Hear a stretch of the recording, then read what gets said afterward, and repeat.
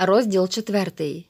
Він устав разом із сонцем, довго кашляв, сидячи в солом'яній постелі, і туго обіпнувшись рябою плащ палаткою.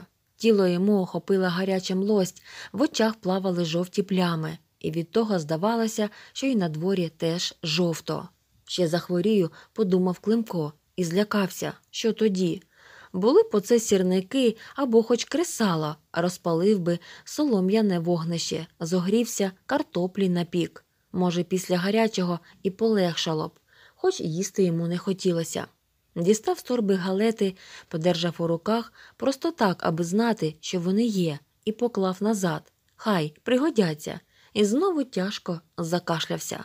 В очах бриніли сльози, бриніла сиза роса на бур'янах і кавунячому огудині, а руки так трусилися, що він міцно сплів їх пальцями і затис між коліньми. Треба швидше йти, там хоч люди. Климко підвівся, ноги відразу загули і налилися гарячим. Похитнувся, але не впав і не сів знову, а, тримаючись обома руками за куренів дашок, виступив на двір. Земля була холодна, сяяло сонце, гралося з росою в блискітки, хто кого переблищить, і зовсім не гріло. З рота йшла крута пара. Климко і кашляв парою і тремтів, тримаючись руками за курінь. Ні по такій холоднющій землі далеко не зайдеш, хоча й близько вже. Оно воно місто, і за ним гори з рожевими вершечками, рукою наче дістав би. Климко повернувся до куреня, узяв плащ палатку і, зціпивши від напруження зуби, одірвав однеї чималий клапоть. Потім розірвав його ще навпіл, і вийшло дві оночі. Однаково холодно буде, як намокнуть, подумав Климко. Навибиравши цілішої сухої соломи, поробив товстенькі вустілки і примірив їх до ступні, щоб невеликі були ні малі. Потім туго обмотав ноги разом з устілками плащ палатняними клаптями і позав'язував кінці вище кісточок. Підвівся, обійшов довкола куреня, ступалося в новій взувачці легко і м'яко, і сказав сам собі, як дід Гареєв можна жить. Він ще посидів у курені, перепочив трохи на дорогу, узяв на плечі торбу і пішов до шляху, раз по раз, корчачись від вибухів кашлю. Ішов і розмірковував, що робити далі чи податися відразу просто в гори по сіль, а чи зайти в місто на базар і спробувати бочонкові гроші. Той жмуток, тридцяток, п'ятнадцять червоних цупких папірців, що дав йому аптекар, як поховали дядька Кирила, лежав у нього в спідній кишені діжурки. Щоб не загубити його, Климко заколов кишеню мідною дротиною і закрутив її. Можна і спробувати, адже солі тут, мабуть, стільки, що за так бери. Якщо гроші безцінь, то і сіль не дорожча. Спробую, вирішив Климко і пішов швидше. Місто починалося такими ж будиночками в садах, як і у звичайному висілку. На парканах коло хвірток висіли дерев'яні поштові скриньки з дашками від дощу. Усі вони були порожні. Відсвірінькували горобці, підплигуючи на цегляних тротуарах. По одному паркану ходив рудий кіт і мружився на сонце зеленими очима. Вікониці в будиночках було позачиняно, може, тому що рано, а може, від вулиці їх вдень не відчиняли. Климко йшов іржавою трамвайною колією, переступаючи шпали на шпалу. Узувачку свою він зняв ще край міста. Незручно якось тупцяти в онучах, подумають старець. Людей траплялося мало. Скрипне хвіртка, висунеться з неї дитяча голівка, стригне очима по вулиці. Оно який вурка йде з торбою за плечима, худий, брудний, босий, а великі сині очі, червоні, по білках так і нишпорять. Хлоп зачинилася хвіртка. Ей, хлопчику чи дівчинко, гукне Климко. Як до базару йти не знаєш? Тихо за хвірткою, тільки чути, що сопе. Тоді туп-туп, туп до хати, утекло. Що за люди? зітхає Климко і, покашлюючи, іде далі. Почалися будинки довші і вищі, у три, чотири і п'ять поверхів. Вони були сірі й мовчазні, ніби ніхто в них і не жив. Але людей побільшало, і всі вони з тачками, клунками, вузлами сунули в одну вулицю. Біженці чи місцеві не розбереш. Климко пішов за ними і скоро побачив базар. Він починався старцями, що густо сиділи і стояли побід вицвілим зеленим парканом. Були тут і зрячі, і сліпі, безногі, безрукі, старі, й молоді. Кухлики, картузи, пелени, простягнуті корицем жмені. Подайте, подайте, подайте, линуло понад парканом, як одна і та сама скорботна і жалібна пісня. Ану, келиш, сестрице, не проходь мимо, оглянься на свого брата і подай йому руку, вимогливо гукав якийсь молодий дядько без ноги.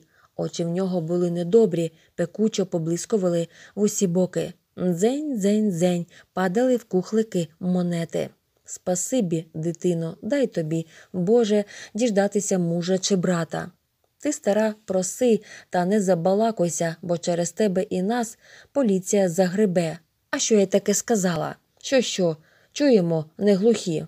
Климко зупинився коло старої престарої бабусі, яка гомніла до перехожих тихим немічним головом, але не жалібно, а так ніби казку вела. Прийшла неміч, люди добрі. Оце дивіться на мене та й побачите, яка вона тая неміч. Кажу, земельці, розступися, забери стару, а вона не розступається. Прошу, прошу, не хоче і квит. У пелені в бабусі лежало три картоплини, дрібна цибулинка із десяток гривенників. Бабуся подивилася на клима вологими, виленілими очима і сказала Іди, іди, хлопчику, це я не тобі розказую. Климко відлубав з кишені одну тридцятку і поклав бабусі в пелену, а сам швидко пішов геть. За сірими, вицвілими на сонці прилавками сиділи і стояли жінки та дідусі і неголосно, сторожко озираючись на всі боки, припрошували до своїх товарів. То були старі побиті шашілю ікони, і у них боги під склом серед барвистих воскових квітів, мідні, поначищувані каблучки і серги, товсті давні книги, червоні намиста з дукачами і знову ікони, старіші і новіші, в оправах і без оправ, але боги на них були схожі один на одного, як брати, і всі дивилися сумними очима не на людей, а поверх них. Далі йшли прилавки, заставлені мисочками з житом, кукурудзою, просом, біліли склянки з борошном, содою, вологою сіллю. Ось вона, зрадів Климко. Стояли клунки з картоплею, капустою, буряками, і все це добро не продавалося, а мінялося на одежу, газ, мило, сірники. Видно, і тут гроші не нужні нікому, подумав Климко, відчуваючи страх. Нічого він тут не добуде. Біля крайньої тачки на дерев'яних колесах стояла дівчина з напуском на очі, зап'ята старенькою чорною хустиною. Вона тримала в руках чепурно квітка до квітки складений букет чорнобривців. На плечах у неї була ще одна хустка, велика, у веселих червоних і зелених квітах, а темно-вишневі шовкові китиці ледь не торкалися землі. Щоки в дівчини були перепнуті по старечому навкіс, як у хворої на зуби, а маленькі тонькі пальці, що тримали квітки, тремтливо перебирали зелені стебельця. Купіть мою хустку, дивіться, яка ловка, тихим голосом. Так лагідно і боязко просила дівчина, що Климко зупинився біля неї. Я й чорнобривців на додачу ще дам. Купіть мою хустку. Климко пом'явся, переступаючи з ноги на ногу, і сказав Чудна ви, кому ж вони зараз нужні, чорнобривці оті. Дівчина сполохано глянула на нього темними, затіненими очима і швидко вп'ялася пальцями у квітчасту хустку. Та ви мене не бійтеся, усміхнувся Климко і згадав, що він сьогодні не вмивався. Я не вурка, я посіль сюди прийшов. Дівчина відвернулася і стояла мовчки. Ото хлопець тобі правду каже, озвався з-під магазину якийсь дядько. Ти поставила отут около мене тачку, пішла в ряди і виміняла, чого тобі треба, а то чорнобривці. Дівчина так само наполохано, як і на Климка, подивилася на нього. Дядько сидів просто на землі, обгорнувши ноги старою сукняною ковдрою. На скронях йому густо висіялася кучерява розсадка сивини, але це було все в зморшках, і в кожній зморшці, здавалося, климкові, чаїлася добра лагідна усмішка. Перед дядьком двома рівними рядочками стояли прорезинені тапочки, великі і малі, і зовсім манюні на дитину. Видно, він був швець і сам їх понашивав. Швець поманив климка пальцем. Здалеку йдеш, чи тутешній? спитав. З Донбасу я, сказав Климко. А, землячок, посіль кажеш? Климко кивнув. А що у тебе на сіль? Торбинка осьо. Климко зняв із плеча торбу. Ні, усміхнувся швець, і кожна його зморшка теж усміхалася. Я питаю, на що міняєш чи купуєш? Одежа якась путня є, чи, може, марки? Такого немає, зітхнув Климко, розглядаючи тапочки. Чи не спробувати виміняти? Гроші довоєнні є, так за них нічого не продають. Треба йти в гори туди, він махнув рукою, там я і даром наберу. Так же, а чого ж босий? Щоб легше на ноги. Климко ледь скривив губи, пробуючи усміхнутися. Картопля в мене ще є, то, може б, ви проміняли взувачку на неї? Дрібнувата, правда. Візьми, приміряй. Климко привзув тапочки, ногам одразу стало затишно. Більше бери, щоб онуча влізла, порадив швець. Климко послухав його, узяв більші і заходився розв'язувати торбу. Не треба, сказав швець, носи собі, раз уже ти земляк. Він скрутив цигарку, припалив от саморобної з патрона запальнички і сказав, огортаючи димом. А сіль ти, синку, проминув. Кілометрів п'ятдесят зайвих пройшов. Сіль це біля Артемівська. Чув? Климков чув і навіть бачив це місто здалеку днів три тому. Так ото біля нього станція така є, називається вона сіль, там сіль. А тут що крейда, сода, вода солона в озерах є, але ж у торбу її не набереш. Проминув ти, брате, сіль. Климка обсипало колючим жарком, а ноги потерпли і знемоглися, як після цілоденної ходьби. Він сів на проломлений дощаний ганок і мовчав, стиснувши долонями щоки. Що ж, треба вертатися, на силу вимовив він, похлинувся клубком, що стояв йому в горлі, і закашлявся. О, як тебе пробрало. Швець поклав на плече Климкові велику руку, подзьобану вигільними скалками, наче покроплену синькою. Нічого не скисай, щось придумаємо. За магазину вихопилися два поліцаї в чорному з карабінами за плечима і плоскими німецькими багнетами при боці. Вони підійшли до дівчини з хусткою і стали. Приймися, сказав один з них у кубанці, на яку по селезнячому закручувалася чорна чуприна. Він оперся коліньми в тачку, ніби йому не було більше дороги, і подивився на дівчину дуже пильно з-під лоба. Дівчина вхопилася за дишель і підтягла тачку ближче до магазину. Руки в неї тремтіли.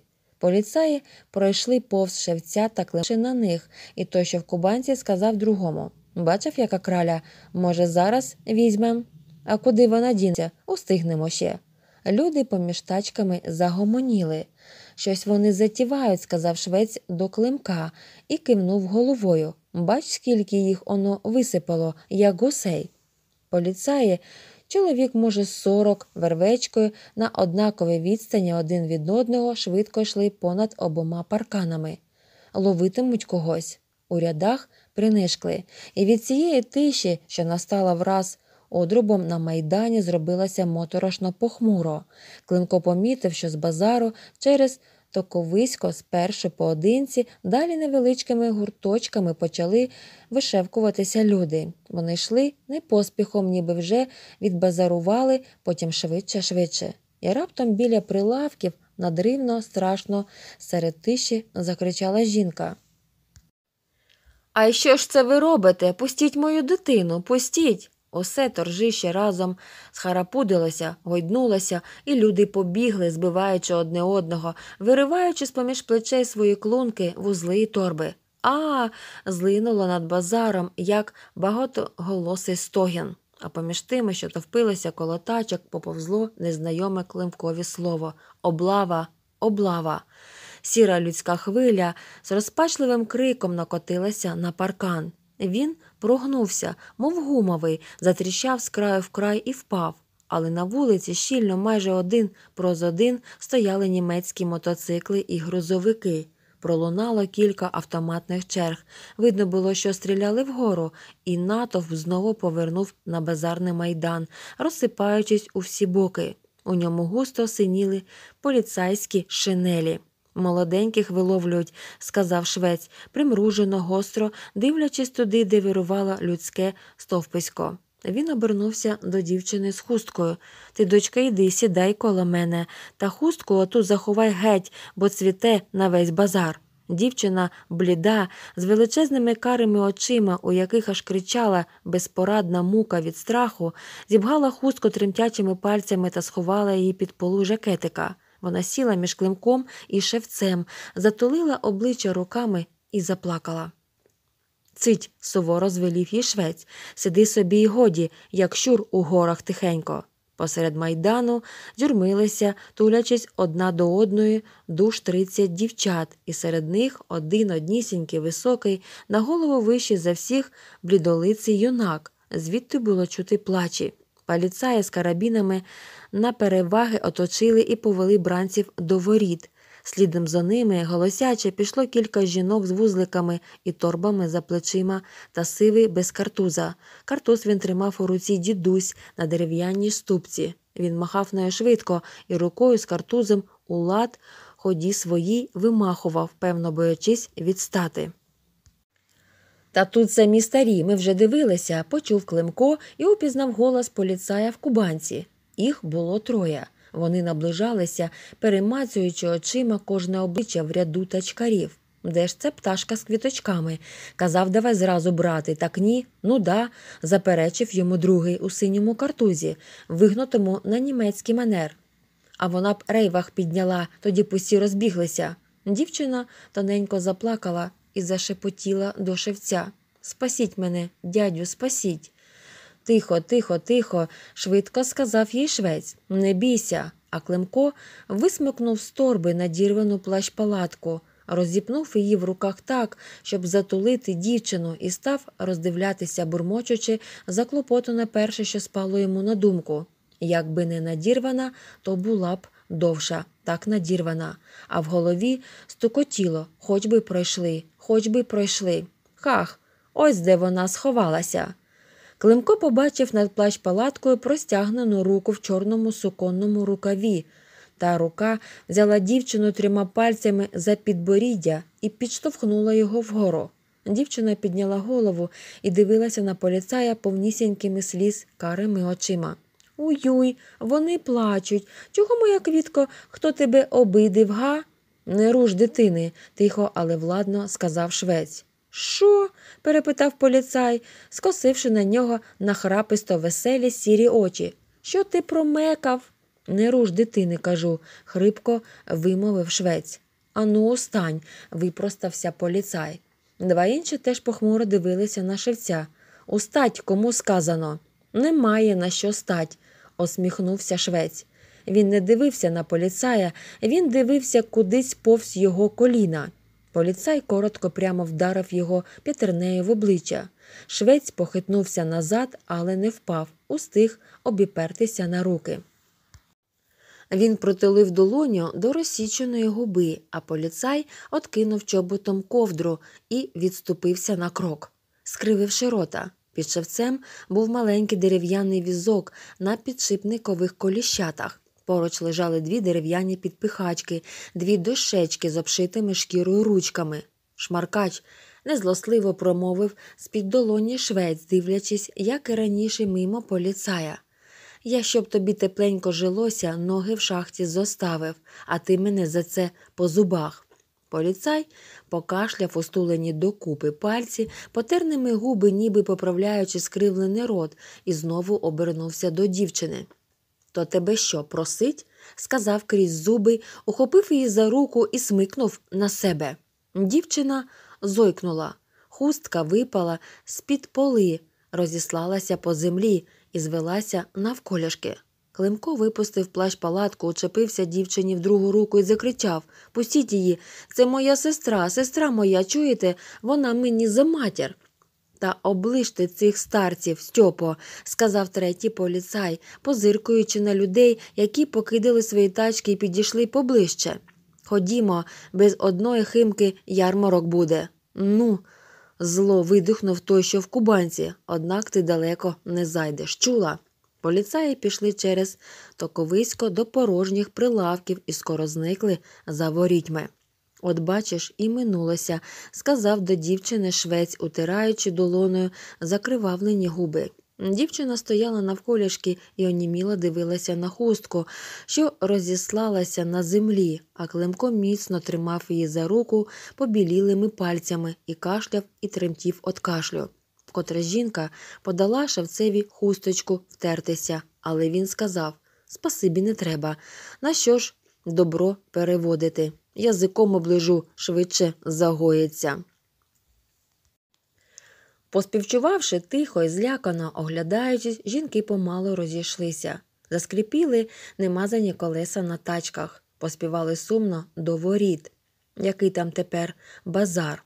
Дівчина враз немов опритомніла, охопила шевця за руку, гладила її тонкими пальчиками і шепотіла, шепотіла, плачучи. Спасибі вам, дядечку, спасибі, рідненький. Отак вони вас через мене повіки не забуду. Спаси. Швець легенько вивільнив руку. Чого ж ти плачеш? Минулася, і цур йому, радій, що минулася. Далеко тобі ще йти. У Сумщину, дядечку, я на шахтах була в Донбасі, а тут війна. Тепер до мами добиваюся. І доб'єшся, лагідно хмурячи брові, сказав швець. Чого ж, тільки накинь зараз на себе старе шмаття якесь або хусткою великою запнися, щоб ні лиця, ні очей не було видно. Та серединою міста не їдь, а глухими вуличками і на шлях, а там людей багато, з ними веселіше буде. Я тебе на своїй машині проведу за кавулками. Швець усміхнувся і поторкав долонями шарико підшипникові коліщата. Дівчина слухала його і швидко по дитячому кивала головою. Тоді обернулася до климка і винувато соромко подивилася на нього заплаканими очима. Спасибі тобі, хлопчику, я тебе зразу так і злякалася. Тобі, бува, не по дорозі зо мною, ні? Мені назад, сказав Климко крізь кашель, на Донбас. А то і справді був би моїм братиком. Дівчина жалібно підняла брови. Нас з мамою нікого більше немає, жив би в нас. Назад мені треба, сказав Климко. Повз них тягла тачку якась жінка в довгому синьому плащі у калошах на босоніж. Швець озвався до неї. Ти, молодиця, хотіла балетки за сіль, то бери. Та хотіла, сказала жінка і зупинилася з тачкою. Ви ж би просили борошенця, хоч склянок п'ять. Немає чоловіче борошенця, не взяла. Нічого, якось обійдуся вже, давайте засіль. Тут ось хлопчик швець кивнув на климка, земляк мій, забився аж з Донбасу. Звісті кілометрів пройшов, щоб солі дістати, а де ж її тут зараз найдеш? Жінка швидко зиркнула на климка. Роздала ж бо я хазяїна сіль. Те просить те, дайте, тітонько, хоч у носовичок, хоч зо жменю. Жалко дивитися. Склянок мо з десяток осталося. Десять склянок подумав Климко і уявив кубку солі, величеньку таку, і зашпортався мерщій у кишені, добуваючи гроші. Дома в мене то ще є таки багатенько, і солі привезла два мішечки, як війна почалася, а тут ось тільки на денці. Жінка дістала з тачки жовтий сировий клуночок. Давайте, скільки є, сказав швець, та вибирайте собі взувачко, яка на вас дивиться. Тоді подумав і додав А може, хлопчик поміг би вам тачку додому правити, а ви йому дома вже солі досипали, пищага? Я вам тітоньку води наношу, дров нарубаю чи ще щось зроблю. Що скажете, чесне слово. Климко похапцем розкрутив дротинку на кишені і простяг жінці всі гроші, дивлячись на неї вгору хворими очима. Жінка зажурено подивилася на нього. Не треба мені грошей, хлопчику, я тобі і так насиплю. З півпуда, а то і більше, скільки донесеш. і спитала в шевця з надією в очах, що ж воно оце далі буде хазяїне. А що буде, отказав швець. Ось вернуться наші, пошию вам усім трьом чобітки на рипах, на скрипці заграю чи на баяні. А ви мені пісні хорошої заспіваєте або потанцюєте. Я колись любив потанцювати, і він усміхнувся. От так і буде, а як же інакше. І всі заусміхалися теж, дивлячись на його веселі зморшки біля очей і по всьому виду, і над похмуро порожнім, усипаним сміттям майданом, ніби проясніло. А швець дістав з-під свого візка старий речовий мішок солдатський, поклав у нього парами тапочки, ті, що засталися, ковдру, зав'язав тугенько і накинув лямки на плечі. Що ж рушаємо, от баразувалися, сказав він. Ти, дівчино, паняй за мною, я покажу, де тобі повернути. Узяв у руки дерев'яні підпихачки, дуже обіперся ними об землю і перший з мішечком за плечима покотив до воріт. Усі рушили за ним. За ворітьми швець сказав жінці Ви ж підмогніть там хлопчині, як тебе хоч звати, земляче, Климко? Бувай, Климку, кріпися в дорозі, бо вона ж тобі не близька, бувай, і помахав Климкові дощечкою підпихачкою. Він, не оглядаючись, поїхав щербатим цегляним тротуаром по негустому опалому листю. Тьох-тьох, тьох-тьох, озивалися підшипникові коліщата під його візком, а дівчина згорблено, низько опустивши голову, тягла за ним свою тачку на дерев'яних колесах. Поїхали і ми, тітонько, сказав ж до жінки Климко. Разом веселіше буде, еге ж? А ти, бідовенький, завважила жінка. Бідовенький же. Не знаю, зніяковіло Климко. Він узявся за холодну залізну ручку в дишлі тітчиної тачки і ще раз востаннє подивився вслід шевцеві, що котив помало мережаним тротуаром. Стінів сонце, стінів сонце, і все глухіше було чути тьох-тьох, тьох-тьох.